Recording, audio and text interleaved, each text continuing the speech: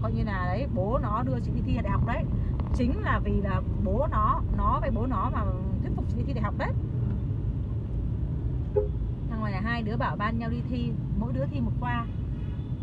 Mà đấy ngày đấy là kiểu như không chỉ bạn bè là bảo nhau ấy. Ừ. bạn thi khoa này tớ thi khoa này nhé mẹ bạn bạn thi khoa này đi sau này ừm, bạn thi khoa này xong rồi là, về thì trao đổi như, à, cái công việc của bạn và trao đổi với tớ.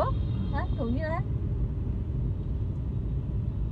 Thế là ừm, hứa với nhau là hai đứa hẹn với nhau là thôi thì tớ thì thi bảo tàng, bạn thi du lịch. Sau này về tớ làm bảo tàng mà làm du lịch. Cuối cùng nó thi nó trượt. Mình thi đỗ nó trượt. Sáng lại ra bố nó đưa hai đứa hai đứa đi thi. Bố nó đưa nó xuống trường. Xong bắt đầu là đưa đi ăn sáng, đưa hai đứa đi ăn sáng. Sáng mình rất hồn nhiên như cô tiên, mình ăn ra, mình ăn một quả trứng, hai quả chuối.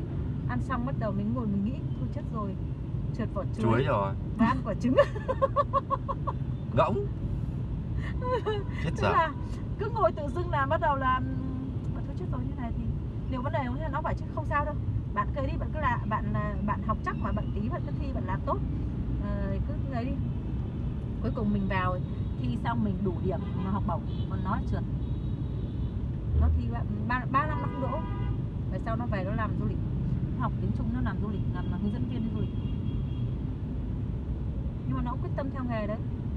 Thế cùng là học xong thì đến năm thứ ba thì hôm em xuống nhà chơi đùng một phát thì viết thư cho bao nhiêu thì chẳng biết viết thư bạn bè bình thường đấy nhưng có bao giờ hỏi đến là, là có yêu tớ không hay là gì đâu chẳng bao giờ hỏi han gì. Đùng một phát thì là, là về thì thấy bạn có yêu rồi là còn lăn quay ra ngồi về. Tự kỷ. Ngày xưa nó trẻ con thật. Tán chẳng đã tán thì phải hỏi chẳng hỏi han gì?